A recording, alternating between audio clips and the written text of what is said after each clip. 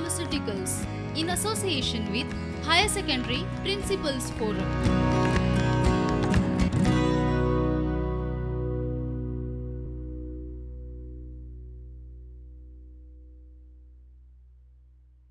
नमस्कार, आप सभी का हिंदी तासिका में हार्दिक स्वागत है आज हम कक्षा बारहवीं के पाठ्यक्रम में संकलित कविता मेरा बचपन पढ़ने वाले हैं इसकी कवियत्री सुभद्रा कुमारी चौहान है, जिन्हें हम राष्ट्र कवि के रूप में भी जानते हैं। कविता पर आने से पहले आइए कुछ बातों को स्पष्ट कर लेते हैं। बच्चों, देखिए, समय की सबसे बड़ी विशेषता होती है कि समय में गतिशीलता होती है, यानी समय को हम अपने नियंत्रण में नहीं रख सकते। समय में एक प्रवाह होता है और इसीलिए समय कभी भी किसी के लिए रुकता नहीं है। साथ ही साथ समय की दूसरी बड़ी विशेषता ये होती है कि समय परिवर्तनशील होता है। यानी कि समय के साथ साथ हमारे आसपास की चीज़ों में, वातावरण में या फिर यूँ कहे प्रत्येक मनुष्य के जीवन में बदलाव होते हैं। परिवर्तन शब्द का अर्थ है बदलाव। उदाहरण के लिए आप एक पौधे का उदाहरण ले सकते हैं। जैसे एक पौधा समय के साथ साथ एक वृक्ष का रूप धारण करता है। तो उस पौधे से लेकर उस वृक्ष बनने तक के सफ़र में उस पौधे को कई सारे संघर्षों से होकर गुजरना पड़ता है।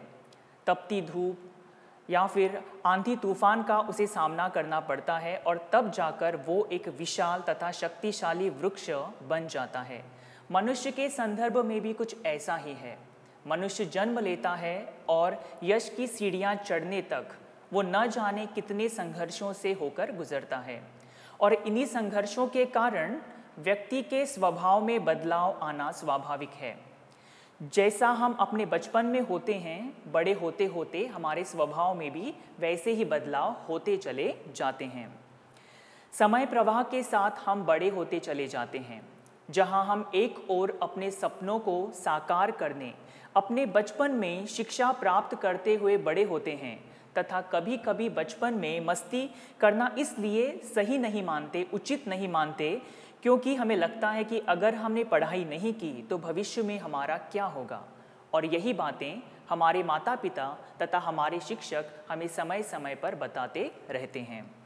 लेकिन आगे भविष्य में हम कितने ही बड़े पदों पर क्यों ना पहुँच जाए, हर एक व्यक्ति को अपना बचपन ज़रूर याद आता है।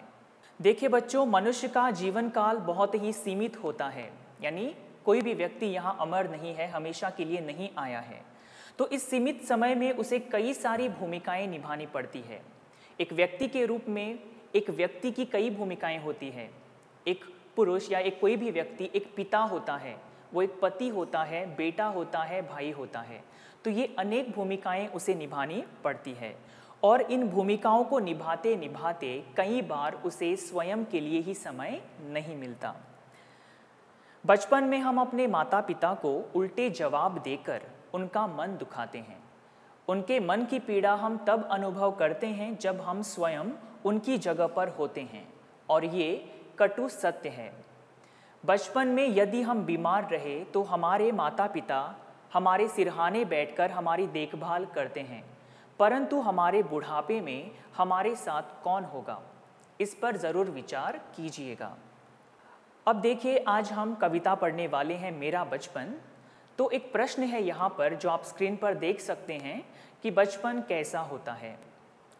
आप सभी का उत्तर यही होगा कि बचपन बहुत ही मज़ेदार होता है, क्योंकि हम अपने मित्रों के साथ मिलकर ढेर सारी मस्ती करते हैं। इसीलिए हम कह सकते हैं कि बचपन मौज मस्ती से भरा होता है और इसी मस्ती में हमारा आनंद छिपा है, हमारी खुशी छिपी हुई है। इसीलिए हम कह सकते हैं कि बचपन हमारा आनंददायी भी होता है, आनंद देने वाला होता है। बचपन में हमें अपने माता पिता का ढेर सारा प्रेम मिलता है। साथ ही साथ अगर घर में हमारे दादा दादी है तो उनका प्रेम भी भरपूर मात्रा में मिलता है। और जब कभी हम अपने नाना नानी के घर भी जाते हैं तो वहाँ पर भी प्रेम का ढेर सारा वर्षाव ही होता है। और जैसे जैसे हम बड़े होते चले जाते हैं, हम पाते हैं कि ये सारी चीज़ें कम हो रही है। उसी तरह से बचपन में हम निश्चिंत होते हैं, किसी बात की कोई चिंता नहीं होती है। हमारे सारे जो काम होते हैं, हमारे माता पिता या घर के बड़े लोग करते हैं। उसी प्रकार से बचपन में एक सुकून होता है, या बचपन सुकून भरा होता है।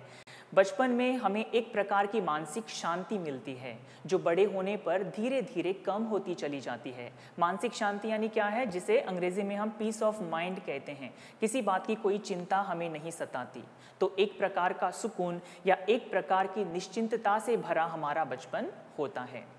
अब देखिए, मैंने प्रश्न आपसे क्या किया है? बचपन कैसा होता है? और ये इसका उत्तर हो सकता है।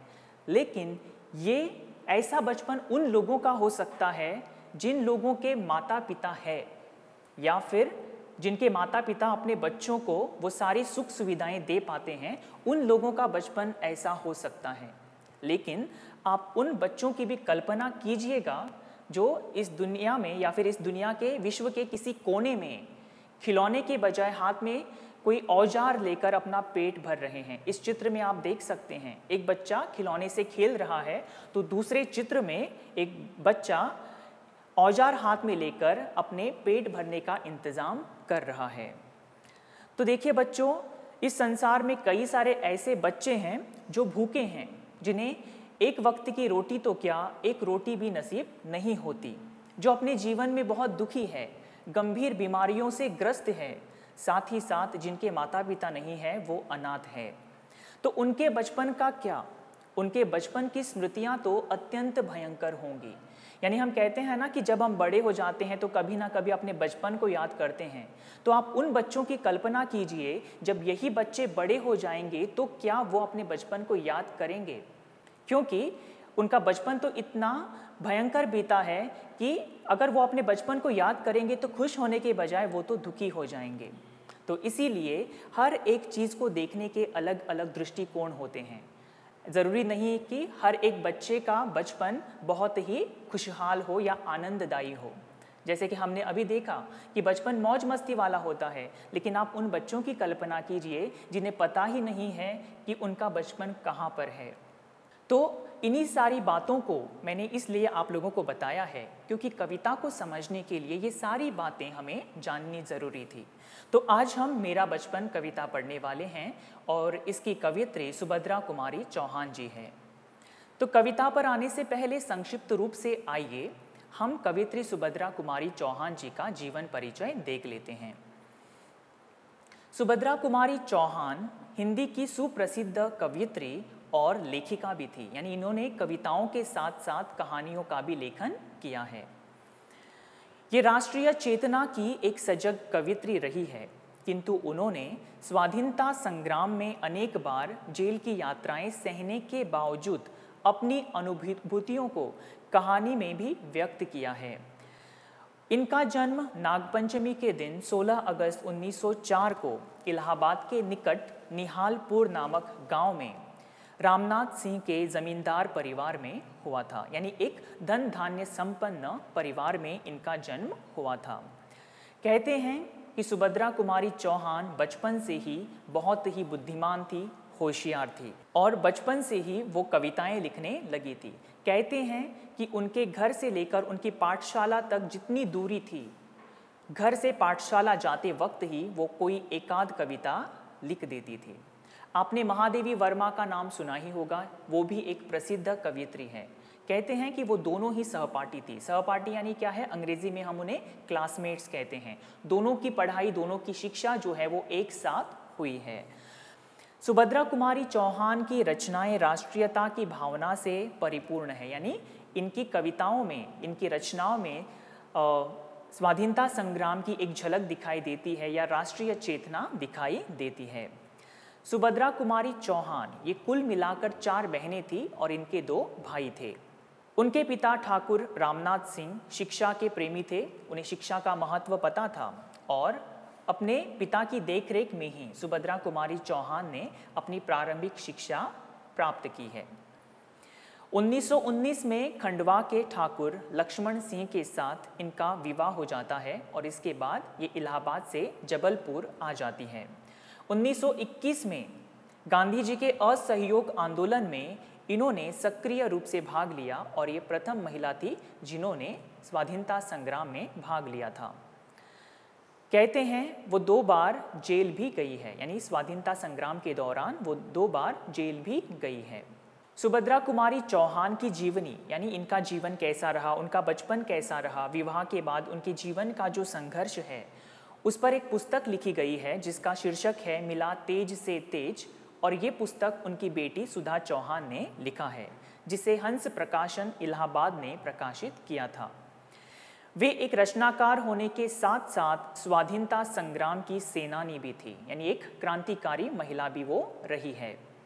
15 फरवरी 1948 को एक कार दुर्घटना में उनका आकस्मिक निधन हो जाता है और मृत्यु के समय उनकी उम्र केवल 44 वर्ष की थी। तो ये जो परिचय है, वो कवित्री सुभद्रा कुमारी चौहान का जीवन कैसा रहा? एक लेखिका या एक रचनाकार के साथ साथ उन्होंने देश की सेवा भी की है, ये बातें यहाँ पर स्पष्ट हो जाती है। प्रमुख कृतियाँ, कुछ किताबें जिनो जो इन्होंने लिखी हैं, उस पर प्रकाश डालते हैं। इन्होंने कहानी संग्रह भी लिखे हैं, यानी इनकी कहानियों का संग्रह इन शीर्षकों से प्रकाशित हुआ है, पहला है बिखरे मोती, दूसरा है उन्मादिनी और तीसरा है सीधे साधे चित्र। उसी तरह से इन्होंने कविताएँ तो बहुत ज़्यादा लिखी हैं तो इनके कविताओं का संग्रह मुकुल और त्रिधारा इन शीर्षकों से प्रकाशित हुआ है। साथ ही साथ जीवनी, मिला तेज से तेज, यानी इनके जीवन पर एक जीवनी भी लिखी गई है, जो इनकी पुत्री सुधा चौहान ने लिखी है। साथ ही साथ इनकी पुत्री ने डायरी लेखन भी किया है, बंदिनी की डायरी, और इसकी लेखिका है सुधा चौहान। अब हम कविता में प्रवेश करते हैं। देखिए बच्चों, प्रस्तुत कविता जो है, इस कविता में कवित्री सुभद्रा कुमारी चौहान एक माँ का उल्लेख करती है। इस कविता में जो माँ है, वो अपने बचपन के तनाव मुक्त या चिंता रहित क्षणों को याद कर रही है। हम अगर कविता का अध्ययन करते समय कवित्री को भी इसमें शामिल कर सकते हैं कि कवित्री अपने बचपन को याद कर रही है। क्योंकि आपके पाठ्य पुस्तक में वहाँ स्पष्ट शब्दों में लिखा है कि एक माँ अपने बचपन को याद कर रही है, उसी दृष्टि से मैं आज आप लोगों को ये कविता पढ़ाने वाला हूँ। तो प्रस्तुत कविता जो है, वो विश्व की समस्त माताओं को समर्पित है।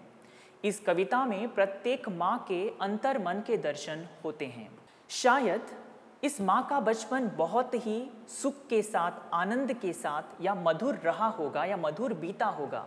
और इसीलिए इस कविता में जो माँ है, वो अपने बचपन को फिर से एक बार जीना चाहती है, अनुभव करना चाहती है।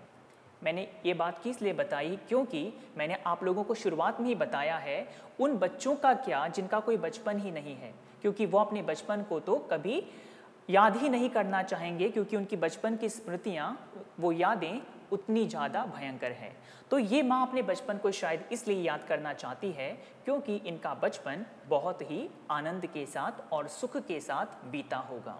साथ ही साथ इस कविता में हम देखेंगे कि एक नारी के बेटी से माँ बनने तक का सफ़र भी इस कविता में हमें स्पष्ट रूप से दिखाई देता है। कविता की भाषा बहुत ही सहज है, सरल है तथा भावों के अनुकूल है। तो आइए हम कविता पढ़ना शुरू करते हैं। कवित्री लिखती हैं, बार बार आती है मुझको मधुर याद बचपन तेरी, गया ले तू जीवन की सबसे मस्त खुशी मेरी। यहाँ पर कवित्री सुभद्रा कुमारी चौहान, परीक्षा की दृष्टि से जब आप उत्तर लिखते हैं तो अक्सर आप इस तरह से लिखते हैं। लेकिन जब मैं आप लोगों को बताऊँगा, तब मैं बार बार माँ का ही उदाहरण लूँगा या एक माँ को ही केंद्र में रखकर इस कविता को पढ़ाने की कोशिश करूँगा। तो आइए इन पंक्तियों का अर्थ समझते हैं। प्रस्तुत कविता में कवित्री ने एक माँ को दिखाया है। हमने अभी अभी इसके बारे में जानकारी प्राप्त की है। तो इस कविता में कवित्री सुभद्रा कुमारी चौहान जिस माँ को दिखा रही है, वो माँ अपने बचपन को बहुत याद कर रही है। इस कविता में जो माँ है, वो अनुभव कर रही है कि बचपन के क्षण कितने मधुर थे, कितने सुखदायी थे, कितने सुख देने वाले थे। और इसी बचपन की यादों में ये माँ खोई हुई है और उस बचपन को ये माँ वापस बुला रही है। और समय से शिकायत भी करती है कि, हे समय, तूने ये मेरे साथ क्या किया? तू मेरा बचपन क्यों लेकर चला गया? मैं अपने बचपन को वापस फिर से अनुभव करना चाहती हूँ। अब ऐसा क्यों? या माँ ऐसा क्यों सोच रही है? क्योंकि आज ये माँ माँ के जीवन में कई सारी जिम्मेदारियाँ आ गई है। आप यहाँ पर एक चित्र देख सकते हैं, जहाँ पर एक माँ घर के सारे काम कर रही है। वहाँ पर एक बुज़ुर्ग व्यक्ति है, उसकी सेवा कर रही है। जब ये माँ बच्ची थी तो कहाँ थी? अपने माता पिता के साथ थी। और उस समय वो क्या थी? एक माता पिता की बेटी थी, किसी की बहन थी। अब वो विवाह करने के उपरांत अपने ससुराल में पहुँच गई है। ससुराल में आने के बाद उसकी कई सारी भूमिकाएँ अब बन गई है। जैसे वो किसी की पत्नी बन गई है, किसी की बहू बन गई है और सबसे ऊपर वो किसी की माँ बन गई है। तो आज जिम्मेदारियाँ इतनी है, भूमिकाएँ इतनी है कि हर किसी की सेवा करते करते उसे अपने लिए ही समय नहीं है। तो माँ सोचती है कि बचपन में ऐसा कुछ नहीं होता था। बचपन में केवल हम मौज मस्ती ही किया करते थे। और शायद इसीलिए माँ समय से शिकायत कर रही है कि, हे समय, तू मेरे बचपन को लेकर क्यों चला गया? मैं अपने बचपन को वापस पाना चाहती हूँ। और बचपन के वो जो क्षण थे, वो बहुत ही मधुर थे, ऐसा माँ अनुभव करती है। आज मेरे पास भौतिक साधन या भौतिक सुख के साधन कई सारे हैं। लेकिन बचपन वाला वो सुकून और बचपन वाला वो आनंद मुझे कहीं दिखाई नहीं दे रहा है। और इसीलिए माँ यहाँ पर थोड़ी बहुत भावुक हो जाती है और थोड़ी बहुत दुखी भी हो जाती है। आशा है आप लोगों को यहाँ तक कविता समझ में आई है। आगे बढ़ते हैं। चिंता रहित खेलना खाना, वो फिरना निर्भय स्वच्छंद। कैसे भूला जा सकता है बचपन का अतुलित आनंद? तो आइए प्रथम हम कठिन शब्दों के अर्थ जान लेते हैं, जो इन पंक्तियों में आए हैं। पहला शब्द है चिंता रहित चिंता रहित यानी बिना किसी चिंता के या बिना किसी तनाव के या तनाव मुक्त दूसरा शब्द है निर्भय। निर्भय शब्द का अर्थ है जिसके मन में कोई भय ना हो, कोई डर ना हो, जो निडर होता है। स्वच्छंद। स्वच्छंद शब्द का अर्थ है स्वतंत्र मुक्त या बिना किसी पाबंदी के या बिना किसी रोक टोक के। अतुलित। अतुलित शब्द का अर्थ है जिसकी तुलना नहीं की जा सकती, जिसे हम अतुल्य भी कहते हैं। अब इन शब्दों का अर्थ जान लेते हैं। यहाँ माँ अनुभव करती है कि बचपन कितना अच्छा था, क्योंकि बचपन में हमें किसी बात की कोई चिंता नहीं होती थी।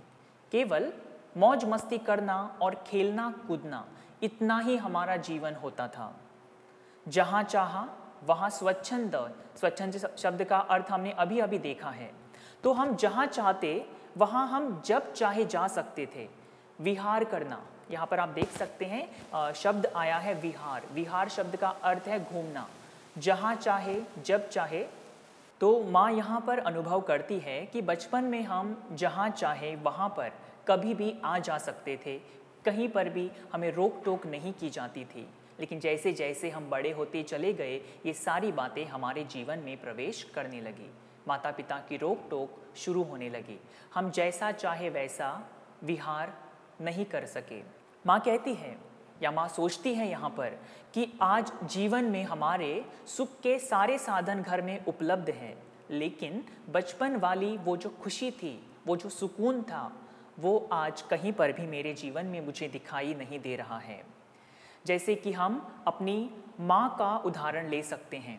हम अपनी माँ को अक्सर देखते हैं। हमारे उठने से पहले वो उठ जाती है और हमारे सोने के बाद वो सो जाती है। तो आज अगर हमारी माँ को ही कहीं जाना है तो घर के सारे काम निपटा कर वो जाती है। या फिर कोई समारोह समारोह में शामिल होने के बाद वो वापस लौटकर घर के सारे काम करती हैं। तो आज घर में क्या है, उसके जीवन में क्या है? ढेर सारी उसकी जिम्मेदारियाँ हैं, जिसे उसे निभाना है। और शायद इसीलिए माँ को लगता है कि बचपन वाले वो जो दिन थे, उसके आनंद की तुलना मैं किसी अन्य वस्तु के साथ या अन्य किसी भी चीज़ के साथ नहीं कर सकती। आज माँ का जीवन कैसा हो गया है? घर के अगर सभी लोग निश्चिंत है, खुश है तो उसी में माँ की खुशी छिपी हुई है। लेकिन बचपन में क्या था? वो जहाँ चाहे वहाँ जा सकती थी। लेकिन आज जिम्मेदारियों के कारण कई बार वो अपने माता पिता से भी मिलने के लिए नहीं जाती है। और एक बात मुझे आप लोगों को बतानी है बच्चों, वो ये है कि आप लोगों को ये कविता समझने के लिए आपकी माँ का उदाहरण आपके ध्यान में रखना होगा। आपके माँ का जीवन कैसा है? उसे ध्यान में रखते हुए अगर आप इस कविता को समझने की कोशिश करेंगे तो निसंदेह आप लोगों को ये कविता समझ में ज़रूर आएगी। आशा है यहाँ तक आप लोगों की समझ में आया होगा। तो हम आगे बढ़ते हैं। आगे कवित्री लिखती है, ऊंच नीच का ज्ञान नहीं था, छुआछूत किसने जानी? बनी हुई थी आहा झोपड़ी और चिथड़ों में रानी। यहाँ छुआछूत यानी क्या है? अस्पृश्यता। उसी तरह से देखिए चिथड़ा। यहाँ एक शब्द आया है, चिथड़ा। चिथड़ा शब्द का अर्थ होता है फटा, मैला या पुराना कपड़ा, जिसे हम पहनते नहीं है लेकिन जिसे हम पोछा लगाने के काम में उपयोग करते हैं, उसे चितड़ा कहा जाता है। यहाँ माँ अनुभव करती है, माँ को याद आता है कि हमें बचपन में ऊंच नीच का ज्ञान नहीं था। यहाँ ऊंच नीच यानी क्या है? कौन अमीर है, कौन गरीब है? इन बातों का हमें पता तक नहीं था। उसी तरह से छुआछूत क्या होती है? ये धर्म, जाति क्या होते हैं? हमें पता भी नहीं था। हम इन बातों से बिल्कुल अपरिचित थे, अनभिज्ञ थे। हर धर्म और हर जाति के मित्रों के साथ मिलकर हम कितना मौज मस्ती के साथ खेला करते थे। लेकिन जैसे जैसे हम बड़े होते चले गए, हमने अपना होश संभालना सीख लिया, तब हमें पता चला कि दुनिया में अमीर लोग होते हैं, गरीब लोग होते हैं, कोई निचली जाति का होता है तो कोई ऊँची जाति का होता है। ये भेदभाव क्या होता है, ये हमें बड़े होने के बाद पता चला। काश हम बच्चे ही रहते, नहीं तो हमें ये भेदभाव क्या होता है, वो पता ही नहीं चलता और चलना भी नहीं चाहिए था, क्योंकि धर्म जाति के कारण आज हमारे मित्र हमसे दूर हो रहे हैं। आगे, माँ को याद आता है कि उनका घर एक झोपड़ी था। अब इन पंक्तियों के अलग अलग अर्थ लगाए जा सकते हैं। बच्चे जब छोटे होते हैं तो घर घर खेलते हैं। तो शायद मुझे जो अर्थ अच्छा लगा मैं वो आप लोगों को बता रहा हूँ कि शायद ये जो माँ है या फिर इस माँ का जो घर था, बचपन वाला जो घर था, वो शायद एक झोपड़ी रहा हो। और इस माँ को अपनी झोपड़ी भी किसी महल से कम नहीं लगती थी, क्योंकि उस घर में उसके माता पिता का उन्हें ढेर सारा प्रेम मिला होगा। जैसे, उतना ही प्रेम मिला होगा जैसे एक राजभवन में, एक राजमहल में एक राजकुमारी को मिलता है। उतना ही प्रेम यहाँ पर अपने घर में अपने माता पिता का उन्हें मिला है। इसीलिए शायद ये माँ कहती है कि, और चितड़ों में रानी, शायद मेरे पास पहनने के लिए अच्छे कपड़े भी नहीं होंगे, लेकिन उन चितड़ों को पहनकर भी मैं स्वयं को किसी राजकुमारी से कम नहीं समझती थी। यानी मुझे अपने माता पिता से ढेर सारा प्रेम मिला है। अब माँ को ये बातें क्यों याद आ रही है? शायद आज ये सारी बातें उनके जीवन में नहीं है। हम क्या करते हैं? जब हम बड़े हो जाते हैं, तब अपने माता पिता को उल्टे जवाब देते हैं और साथ ही साथ उनका मन दुखाते हैं। तो ऐसे में हमारे माता पिता के हृदय पर क्या बीतती है, वो उन्हें ही पता होती है। इसलिए मैंने शुरुआत में जब कविता पढ़ाना आरंभ किया था तो मैंने बताया था कि समय के साथ साथ चीज़ों में बदलाव होते हैं, चीज़ों में परिवर्तन होते हैं, व्यक्ति का स्वभाव भी बदलता है। आज हम अपने माता पिता को बहुत ही कठोर देखते हैं, उनके स्वभाव में कठोरता है, लेकिन वो कठोरता जीवन के अनुभवों से आई हुई है। ऐसा नहीं था कि उनका कोई बचपन नहीं था। वो भी हमारी तरह कभी बच्चे हुआ करते थे। हमारी ही तरह मौज मस्ती से उनका भी जीवन या उनका भी बचपन बीता है। लेकिन समय के साथ साथ जिम्मेदारियों की वजह से या फिर हमें एक अच्छा भविष्य देने के साथ साथ उनके स्वभाव में भी वो परिवर्तन आ गया है। तो माँ को लगता है कि बचपन कितना अच्छा था, जहाँ पर मुझे अपने माता पिता का ढेर सारा प्रेम मिलता था। आज मैं उन्हीं माता पिता को अपने मायके में छोड़कर ससुराल में आ गई हूँ। तो शायद अपने उन्हीं माता पिता के प्रेम के लिए ये माँ बहुत ही लालायित है, इच्छुक है। आगे बढ़ते हैं कि ये दूध के कुल्ले मैंने चूस अंगूठा सुधा पिया, किलकारी किल्लोल मचाकर सूना घर आबाद किया। यहाँ पर एक शब्द आया है कुल्हा करना। कुल्हा करना शब्द का अर्थ है कि मुँह में पानी भरकर उसे बाहर फेंकना। जब हम अपने दंत मंजन करते हैं तो हम क्या करते हैं? मुँह में पानी भरते हैं और उसे बाहर फेंकते हैं। यानी मुँह साफ़ करने की क्रिया के दौरान हम मुँह में पानी भरते हैं और उसे बाहर फेंकते हैं। उस क्रिया को कुल्हा करना कहते हैं। लेकिन यहाँ माँ क्या कह रही है कि ये दूध के कुल्ले मैंने। और यहाँ माँ को अनुभव होता है कि बचपन कितना मासूम होता है। माँ को याद आता है कि उन्होंने भी बचपन में दूध के कुल्ले किए हैं। वैसे तो कुल्ला किससे करते हैं? पानी से करते हैं। लेकिन यहाँ माँ क्या बता रही है? माँ बता रही है या माँ को याद आता है कि मैंने बचपन में दूध के ढेर सारे कुल्ले किए हैं। यहाँ कुल्ला करना एक विशिष्ट अर्थ के साथ आया है। देखिए, जब कभी बच्चे बच्चे बोल नहीं सकते, केवल रोते हैं। तो माँ देखती है बच्चे को भूख लगी है। वो कैसे पता चलता है उन्हें? वो देखते हैं कि अगर बच्चा बार बार अंगूठा चूस रहा है तो माँ समझ जाती है कि मेरे बच्चे को, मेरे बेटा या फिर मेरी बेटी जो भी है, उसे भूख लगी है। और वो उन्हें अपना स्तन पान करके या अपना दूध पिलाकर उनकी भूख को शांत करती है। लेकिन यहाँ देखिए माँ क्या कह रही है, दूध के कुल्ले किए। यानी मेरी माँ ने मुझे समय समय पर अपना दूध पिलाया, इतना दूध पिलाया कि मेरा पेट भर जाता। भूख क्या होती है, वो मुझे मेरी माँ ने महसूस ही नहीं होने दी। समय समय पर सारी चीज़ें मुझे मिलती रही। आज इस माँ का जीवन कैसा हो गया है? आज घर के कामकाज में माँ इतना व्यस्त रहने लगी है कि सबको खाना खिलाने के बाद वो स्वयं भोजन करती है। सुबह हमसे पहले उठती है, हमारा नाश्ता तैयार होता है। हम विद्यालय जाते हैं उसके पीछे माँ ने नाश्ता किया या नहीं, हमें पता नहीं होता है। हम विद्यालय से घर लौटते हैं। दोपहर का खाना हमारा इंतज़ार कर रहा होता है। उसके बाद हम खाना खाते हैं, या फिर, या तो हम अपनी पढ़ाई में व्यस्त हो जाते हैं। लेकिन क्या हमने कभी अपनी माँ से ये प्रश्न किया है कि, माँ, तुमने नाश्ता किया था? तुमने खाना खा लिया? अक्सर ये प्रश्न हम अपनी माँ से करना भूल जाते हैं।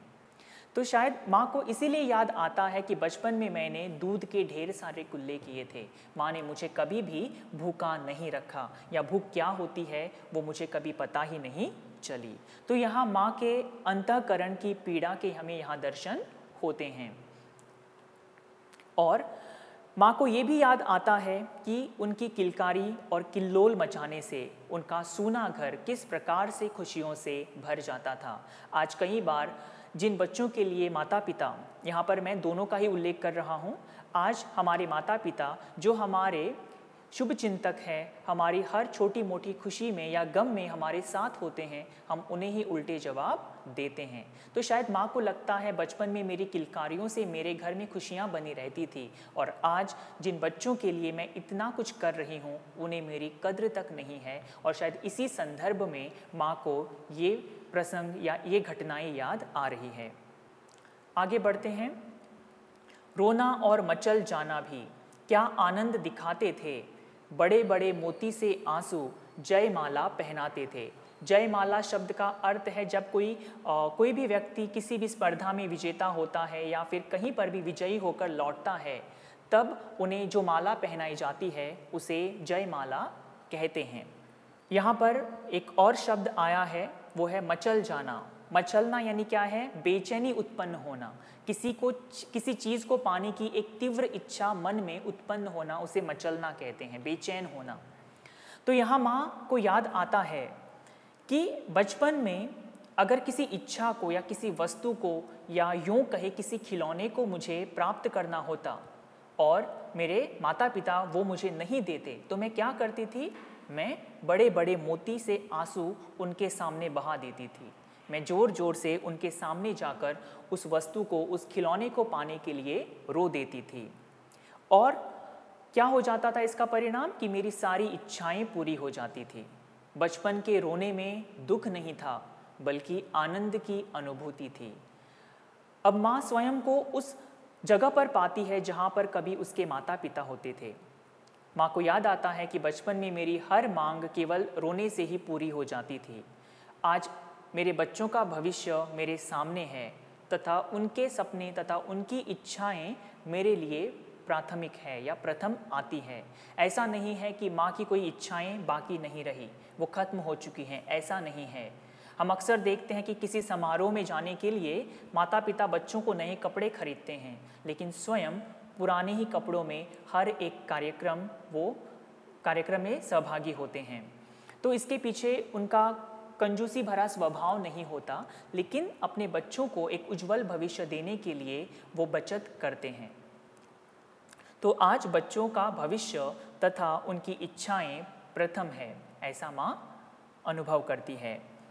लेकिन मन के किसी कोने में वो अपनी इच्छाओं को भी संजोए हुए हैं, जिसे वो कभी व्यक्त नहीं होने देती, क्योंकि अपने बच्चों के भविष्य के बारे में वो ज़्यादा सोचती है। मैं रोई, माँ काम छोड़कर आई, मुझको उठा लिया, झाड़ पहुँच कर चूम चूम गीले गालों को सुखा दिया। अब इन पंक्तियों को समझते हैं। माँ को याद आता है कि जब वह एक छोटी बच्ची हुआ करती थी और छोटे बच्चे क्या करते हैं खेलते हुए यहाँ वहाँ दौड़ते हैं। उन्हें इस बात का भी पता नहीं होता कि अगर वो आ, कहीं जाकर गिर गए चोट लगी तो उन्हें ही पीड़ा होगी। लेकिन बच्चे तो निडर होते हैं अनभिज्ञ होते हैं मासूम होते हैं। किसी सही गलत का फ़र्क उन्हें पता नहीं होता है। तो माँ को याद आता है कि जब कभी वो खेलते हुए यहाँ वहाँ दौड़ा करती और दौड़ते हुए वो गिर जाती और चोट लगती तो उनकी माँ जहाँ भी होती, जहाँ कहीं पर भी होती, कुछ भी कर रही होती वह अपना काम धाम छोड़कर मेरे पास दौड़ी चली आती। और दौड़कर आने के बाद बड़े ही प्रेम के साथ मुझे अपने गोद में उठा लेती और मेरे आंसुओं को वो पोछती, मेरे गीले गालों को लाड़ प्यार से वो सुखा देती। शायद आज ये माँ उन सारी बातों को बहुत याद कर रही है। शायद ये माँ स्वयं को बहुत ही अकेला महसूस करती है। हम अक्सर देखते हैं कि गृहणियों का काम उतना आसान नहीं होता जितना हमें दिखता है या जैसा हम समझते हैं। घर के काम करते वक्त, खासकर खाना बनाते वक्त या रसोई घर में जो भी काम होते हैं, वो करने के दौरान उंगली कट जाती है, हाथ कट जाता है, कई बार कुछ गर्म वस्तु हमारे हाथ के ऊपर गिर जाती है। और हम केवल देखते हैं अगर ऐसा हमारी माँ के साथ भी होता है तो हम अक्सर क्या करते हैं? देखते हैं और सोचते हैं। ये तो मामूली सा घाव है, समय के साथ भर जाएगा। तो यहाँ ये माँ इसलिए ये सारी बातें याद करती है। तो उन्हें याद आता है कि बचपन में क्या था? जब मैं केवल गिर भी जाती थी तो माँ दौड़ी चली आती थी। लेकिन आज ये सारी चीज़ें नहीं हो पा रही है, क्योंकि मैं माँ को छोड़कर अपने ससुराल में हूँ। और यहाँ उसी तरह से दौड़कर आने वाला यहाँ कोई नहीं है। और यहाँ अत्यंत भावुकता के साथ ये माँ अपनी माँ की ममता को याद कर रही है। तो आप भी ज़रा ध्यान दीजिएगा कि आप कभी अपने माता पिता की ऐसे हालचाल पूछते हैं या नहीं पूछते। आगे बढ़ते हैं। दादा ने चंदा दिखलाया। चंदा यानी चाँद, नेत्र यानी आँखें निरयुद्ध निर शब्द का सरल अर्थ है पानी। और यहाँ नीर शब्द का अर्थ है आँसू या अश्रु। निर्युत यानी आंसुओं से दमक उठे। दमक उठना यानी चमक उठना। धुली हुई मुस्कान देखकर, धुली हुई मुस्कान यानी जब कभी हम रोते रोते हंसने लग जाते हैं तो उसे धुली हुई मुस्कान कहते हैं। सो धुली हुई मुस्कान देखकर सबके चेहरे चमक उठे। चेहरे चमक उठना इसका अर्थ है प्रसन्न होना। तो यहाँ देखिए, यहाँ ये माँ अपने दादा के प्रेम को याद कर रही है, दादाजी की उन्हें याद आती है। इसके पहले वाले पंक्तियों में हमने देखा कि जब कभी माँ गिर जाती तो उनकी माँ दौड़कर आती और उन्हें बड़े ही स्नेह से उठाती और उनके गीले गालों को सुखा देती। ज़रूरी नहीं है कि बच्चे गिरने के बाद ही रोते हैं। जब कभी बच्चों को अस्वस्थ महसूस होता है, उनकी सेहत ठीक नहीं रहती, तब भी बच्चे दिन भर रोते हैं। और बच्चों को रोता हुआ देखकर घर के सारे लोग भी दुखी हो जाते हैं, अस्वस्थ वो भी हो जाते हैं कि इसे क्या हुआ है। और इसीलिए बच्चों को रोता हुआ देखकर उनका ध्यान भटकाया जाता है। जैसे हम बच्चों को गोद में लेकर क्या करते हैं? वो देखो चाँद है, वो देखो वो पेड़ है, वो कौवा है। इस तरह से हम बच्चों को अलग अलग चीज़ें दिखाकर उनका ध्यान भटकाते हैं और कई बार अलग तरह के चेहरे बनाकर हम बच्चों को हंसाने की कोशिश करते हैं। तो जैसे ही माँ को अपने दादाजी की याद आती है, जो उन्हें अपने कंधों पर बिठाकर चाँद दिखाया करते थे या चंदा दिखाया करते थे, उनकी आँखें भर आती हैं। माँ को याद आता है कि उसकी आँखें भर आने पर हर कोई उसे हंसाने की कोशिश करता।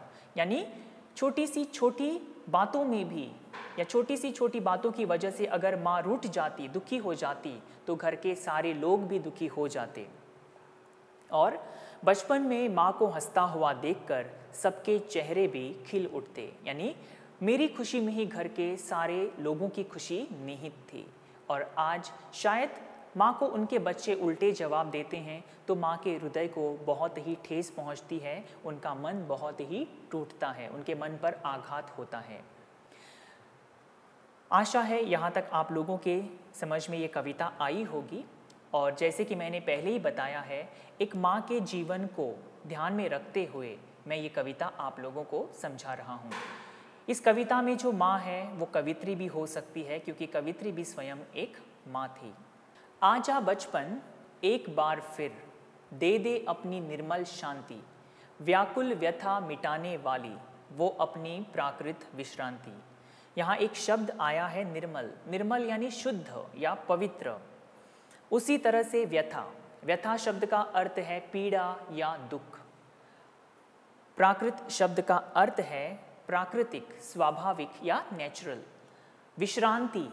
विश्रांति शब्द का सरल अर्थ है आराम, लेकिन कविता के संदर्भ में इसका अर्थ हो जाता है एक मानसिक शांति पीस ऑफ़ माइंड तनाव रहित जीवन।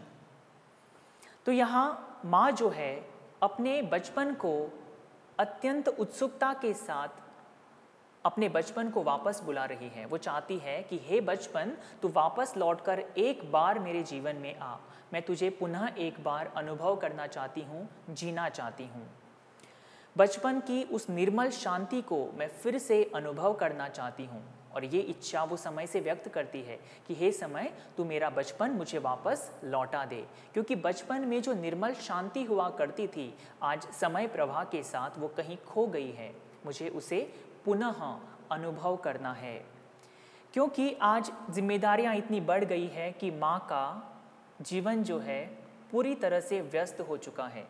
स्वयं के लिए ही उसे समय नहीं है। अपने बच्चों की देख रेख करते हुए। अगर घर में सास ससुर है तो उनकी सेवा करना तो उनका परम कर्तव्य है। उसी तरह से पति की भी सेवा करना उनका धर्म है। और इन सारी जिम्मेदारियों को और अलग अलग भूमिकाओं को निभाते निभाते माँ को अपने लिए समय ही नहीं मिलता है।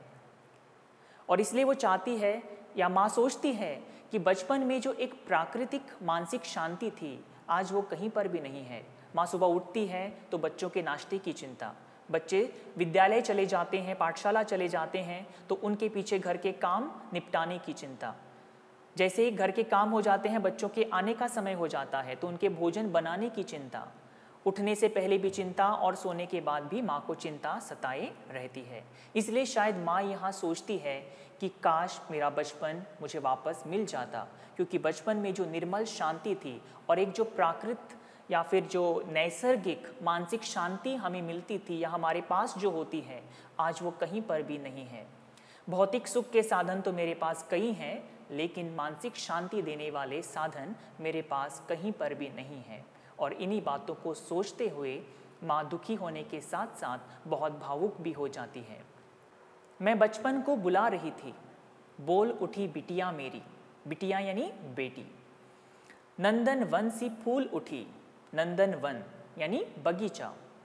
ये छोटी सी कुटिया मेरी। कुटिया शब्द का अर्थ है झोपड़ी। तो यहाँ माँ अपने घर को कुटिया बता रही है। इस पूरी कविता में हम शुरुआत से अंत तक देखते हैं कि माँ अपने बचपन के तनाव मुक्त जीवन को याद कर रही है। और बचपन की यादों में खोई हुई माँ को उनकी बेटी माँ कहकर पुकारती है, जो कहीं बाहर खेल रही थी, वो घर के भीतर प्रवेश करती है। और बचपन की यादों में खोई हुई ये माँ, उन यादों से, उन स्मृतियों से बाहर आ जाती है और अपनी बेटी की ओर देखती है और माँ का चेहरा खुशी से प्रसन्न हो जाता है। वो बहुत खुश हो जाती है जब उनकी बेटी उन्हें माँ कहकर पुकारते हुए घर के भीतर प्रवेश करती है। यहाँ तक हमने इस कविता में देखा है कि बचपन माँ के तनाव मुक्त जीवन को याद कर रही है। चिंता रहित खेलना खाना, वो निर्भयता के साथ स्वच्छंद विहार करना, ये सारी बातें माँ को याद आती है। माँ को याद आता है कि बचपन में छुआछूत का ज्ञान नहीं था। उन्होंने किस प्रकार से दूध के कुल्ले किए थे, किस प्रकार से उनकी इच्छाएँ पूरी होती थी, ये सारी बातें माँ को याद आ रही है। तो ऐसे में बचपन की यादों में खोई हुई माँ को उनकी बेटी जो बाहर कहीं खेलने गई थी, वो घर के भीतर प्रवेश करती है और उन्हें माँ कहकर पुकारती है तो माँ बहुत खुश हो जाती है। माँ अनुभव करती है, अब उनके जीवन का मकसद केवल उनकी बेटी को एक अच्छा जीवन देना ही है। सो उनकी बेटी ही अब उनका जीवन है तथा उनकी खुशी अपनी बेटी की खुशियों में ही निहित है, ऐसा माँ अनुभव करती है। तो जैसे ही उनकी बेटी उन्हें पुकारती हैं तो ये जो घर है या फिर वो घर का जो वातावरण है, वो पूरी तरह से प्रसन्न चित्त हो जाता है। माँ को लगता है कि उनका ये छोटा सा घर एक नंदन वन बन गया है। ठीक उसी तरह से जब वो छोटी बच्ची थी और उनकी किलकारी किल्लोल मचाने से उनका सूना घर खुशियों से भर जाता था। तो यहाँ माँ की ममता के हृदय के दर्शन भी हमें होते हैं। आगे बढ़ते हैं। आगे की पंक्तियाँ कुछ इस तरह से हैं। माँ ओ। कहकर बुला रही थी। मिट्टी खाकर आई थी। कुछ मुँह में, कुछ लिए हाथ में मुझे दिखाने लाई थी। तो ये बेटी जो है, यानी वो बाहर खेलने के लिए गई थी, आँगन में वो खेल रही होगी। जैसे वो घर के भीतर प्रवेश करती है, वो ओ माँ कहकर अपनी माँ को पुकारती है। यहाँ माँ ओ है पंक्तियों में, लेकिन वो क्या है? ओ माँ कहकर वो अपनी माँ को पुकार रही है, बुला रही है। माँ देखती है कि जब मैंने इसे बाहर खेलने के लिए छोड़ा था, तब तो ये साफ़ सुथरी थी और जैसी वो घर के भीतर प्रवेश करती है, वो पाती है कि मेरी बेटी के पूरे शरीर पर मिट्टी लगी हुई है और वो देखती है कि केवल शरीर को ही मिट्टी नहीं लगी है, बल्कि ये तो बाहर से कुछ मिट्टी खाकर भी आई है। तो पूरे मुँह पर उसके मिट्टी लगी हुई है तथा कुछ मिट्टी उसके हाथ में भी है। तो अपनी बेटी के बचपन में माँ अपने बचपन को देखती है। माँ सोचती है कि अगर मैं अपनी बेटी को डांट दूँ कि तूने ये क्या किया, मिट्टी क्यों खाई? तो ऐसे में माँ सोचती है कि क्या मुझे मेरी बेटी पर गुस्सा होना चाहिए? क्योंकि जब मैं बेटी थी या मैं भी बच्ची हुआ करती थी, तब शायद मैंने भी ऐसी हरकतें की हो और मेरी माँ ने शायद उस समय मुझे लाड़ प्यार से पूछा हो।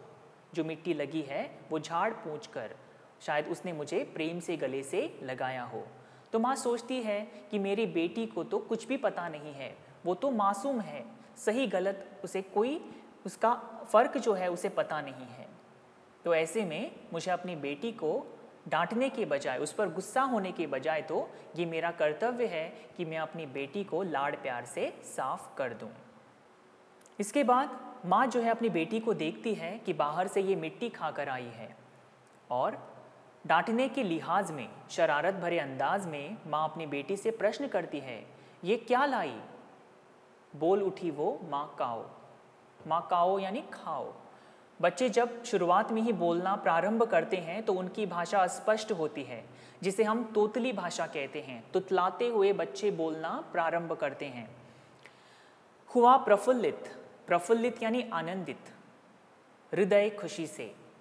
मैंने कहा तुम ही खाओ। तो माँ जो है अपनी बेटी को डांटते हुए पूछती है कि ये तुमने क्या किया? मैंने तुम्हें बाहर खेलने के लिए छोड़ा था, तुम तो मिट्टी खाकर आई हो और पूरे कपड़े भी तुमने मैले कर दिए हैं। लेकिन प्रश्न एक पूछा गया है, बेटी उत्तर कुछ और ही देती है। बेटी क्या कहती है? कि माँ काओ यानी, माँ, मैंने मिट्टी खा ली है, तुम भी खाओ। तो बेटी को प्रश्न ही नहीं पता, समझ में नहीं आ रहा कि माँ मुझसे क्या पूछ रही है। तो ऐसे में बचपन कितना मासूम होता है, ये माँ यहाँ अनुभव करती है। और बेटी के मुख से ये सुनने के बाद माँ का गुस्सा भी तुरंत शांत हो जाता है और वो गुस्सा प्रेम में परिवर्तित हो जाता है। और अपनी बेटी के साथ शरारत करते हुए ये माँ कहती है कि मुझे मिट्टी नहीं खानी है, ये मिट्टी तुम ही खाओ।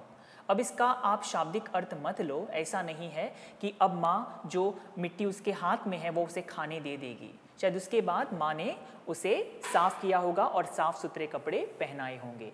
लेकिन शरारत करने के अंदाज में माँ ने अपनी बेटी से कहा कि, बेटी, मुझे मिट्टी नहीं खानी है, तुम ही इसे खाओ। आशा है बच्चों की आप लोगों को ये कविता समझ में आ रही है। आगे, पाया मैंने बचपन फिर से, बचपन बेटी बन आया। उसकी मंजुल मूर्ति देखकर मुझमें नव जीवन आया। नवजीवन यानी नया जीवन। मंजुल मूर्ति, मंजुल यानी सजा हुआ। मूर्ति यानी यहाँ पर चेहरा। किसी भगवान की मूर्ति नहीं तो यहाँ मूर्ति शब्द का अर्थ है मुख या चेहरा। तो यहाँ माँ जो है अपने बचपन को याद कर रही है और माँ को लगता है कि अपनी बेटी के रूप में उन्होंने उसी खोए हुए बचपन को जो समय के साथ कहीं पीछे छूट गया था, उसे वापस पा लिया है। माँ सोचती है कि शायद उनका बचपन भी ऐसा ही रहा होगा। जिस तरह से मेरी बेटी बाहर मिट्टी खाकर आई है और मेरे लिए भी कुछ लेकर आई है तो माँ को लगता है कि शायद मैंने भी इसी तरह की हरकतें की होंगी। और अपनी बेटी की मंजुल मूर्ति देखकर, मंजुल मूर्ति यानी मैंने अभी अभी आप लोगों को बताया है, सजाया हुआ चेहरा। जैसे आप इस चित्र में देख सकते हैं कि इस बेटी को काला टीका लगाया गया है। तो बच्चों को काले टीके से हम सजाते हैं। इसके पीछे एक कारण ये भी है कि हम बच्चों को बुरी नज़र से बचाने के लिए काला टीका लगाते हैं। तो अपनी बेटी की मंजुल मूर्ति देखकर माँ को लगता है कि मानो उसका नया जन्म हुआ है। यानी बेटी के रूप में ही मेरा ही नया जन्म हुआ है। तो मेरा बचपन कहीं और क्यों जा सकता है? मेरा बचपन तो मेरे पास ही है और वो बचपन मेरी बेटी के रूप में ही मेरे पास है, मेरे साथ है। मैं भी उसके साथ खेलती, खाती हूँ, तुतलाती हूँ। मिलकर उसके साथ स्वयं मैं भी बच्ची बन जाती हूँ। तो यहाँ माँ अपने बचपन को फिर से अनुभव कर रही है। जब माँ को ये अनुभव हो जाता है कि मेरा बचपन कहीं नहीं गया, बल्कि मेरा बचपन तो मेरे पास ही है और मेरी बेटी के रूप में वो मेरे साथ है तो माँ निश्चिंत हो जाती है कि मैं अपने बचपन को पुनः जी रही हूँ। और अपने बचपन को वो फिर से अनुभव कर रही है, ऐसा माँ को लगता है। अपनी बेटी के साथ माँ खेलती है, खाना खाती है और साथ ही साथ उसी की भाषा में तुतलाते हुए उससे वार्तालाप करती है, उससे बातचीत करती है। हम कई बार देखो बच्चों से ढेर सारी बातें करते हैं तो उनकी हमारी भाषा कई बार उन्हें समझ में नहीं आती। तो उन्हीं के अंदाज में और उन्हीं की भाषा में हम उनसे बातें करते हैं। तो यहाँ माँ कहती है कि जब मैं अपनी बेटी के साथ होती हूँ तो मैं अपनी उम्र भूल जाती हूँ और उसके साथ होते होते बातें करते मैं उसके साथ कब बच्ची बन जाती हूँ, ये भी मुझे पता नहीं चलता। मैं भी उसके साथ स्वयं बच्ची बन जाती हूँ। और कविता के अंत में कवित्री लिखती है, जिसे खोजती थी बरसों से, अब जाकर उसको पाया, भाग गया था मुझे छोड़कर, वो बचपन फिर से आया। और अंत में कवित्री इतना ही कहती है कि जिस बचपन को मैं बरसों से खोज रही थी, उस बचपन को मैंने पुनः अपनी बेटी के रूप में पा लिया है। और अपने बचपन को ये माँ अपनी बेटी के द्वारा फिर से अनुभव कर रही है। कैसे? वो अपनी बेटी के साथ खाना खाते वक्त या फिर उसे ढेर सारी बातें तोतली भाषा में करती है। उम्र का उस, उन्हें यहाँ तक कि होश नहीं रहता कि मैं एक माँ हूँ और ये मेरी बेटी है। तो बेटी के साथ खेलते हुए समय बीतते, बिताते बिताते माँ कब बच्ची बन जाती है, उन्हें ही पता नहीं चलता। आशा है मेरा ये प्रयास आप सभी को पसंद आया होगा। इतनी ही छोटी सी कविता है, अत्यंत हृदय स्पर्शी ये कविता है। तो आइए जल्दी जल्दी देखते हैं कि इस कविता में हमने अब तक क्या पढ़ा है। तो एक कविता का सारांश यहाँ पर आपके लिए प्रस्तुत है। प्रस्तुत कविता में एक माँ अपने बचपन के चिंता रहित क्षणों को स्मरण कर रही है। माँ अनुभव करती है कि बचपन में किसी बात की कोई चिंता नहीं होती है। बचपन में ऊंच नीच तथा छुआछूत का ज्ञान नहीं होता। बचपन में किए हुए दूध के कुल्ले भी माँ को भरपूर याद आते हैं। माँ याद करती है कि उनके किलकारी और किल्लोल मचाने से उनके घर की रौनक हमेशा बनी रही। रोने और मचलने से सारी इच्छाएँ पूरी हो जाती थी। दादा का चंदा दिखलाना भी माँ को बहुत याद आता है। माँ बचपन की उस प्राकृतिक विश्रांति को फिर से अनुभव करना चाहती है। बचपन की यादों में खोई हुई माँ को उनकी बेटी पुकारती है। तो माँ को लगता है कि उसका घर नंदन वन सा बन गया है। माँ देखती है कि उनकी बेटी बाहर से मिट्टी खाकर आई है और उन्हें भी थोड़ी मिट्टी खाने के लिए कह रही है। तो माँ का रहा सहा क्रोध भी रफू चक्कर हो जाता है। माँ देखती है कि उसका बचपन उसे छोड़कर कहीं नहीं गया है, बल्कि उनका बचपन तो बेटी के रूप में वापस लौटकर आया है। माँ अनुभव करती है कि वो स्वयं अपनी बेटी के साथ खेलती है, तोतली भाषा में बोलती है, तथा उसके साथ मिलकर वो भी स्वयं बच्ची बन जाती है। माँ को जिस बचपन का इंतज़ार था, वो बचपन बेटी के रूप में उनके जीवन में वापस प्रवेश कर गया है। तो आशा है बच्चों आप लोगों को ये छोटी सी कविता पसंद आई होगी और मेरा ये प्रयास भी आप लोगों को पसंद ज़रूर आया होगा। और इसी के साथ मैं अपने शब्दों को विराम देता हूँ। धन्यवाद। Prudent Scholars, powered by Lupin Pharmaceuticals.